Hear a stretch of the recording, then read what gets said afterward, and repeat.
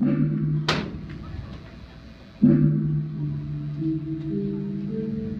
Muslim suite features a variety of dances from the Muslim cultures, including Tausug and Maguindanao. Famous dances such as Sinkil reenact ancient tales, while other Muslim dances show majestic and courtly women and men as warriors.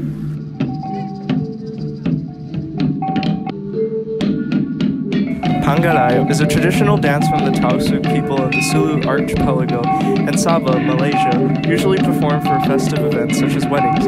Performers wear long metal fingernails and are required to be flexible with their elbows, wrists, and shoulders to mimic ocean waves, as well as resemble a martial art called Kuntao Silat.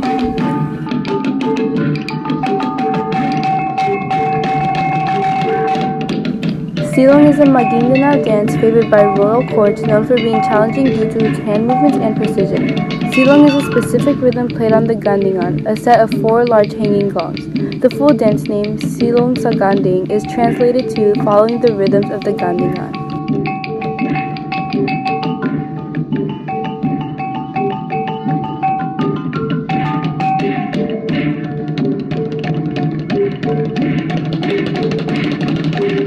Sinkil tells the story of Princess Gandingan, who was caught in the middle of the forest during an earthquake. The crisscross bamboo poles represent the falling trees that are gracefully avoided. Her loyal slave accompanies her throughout the ordeal.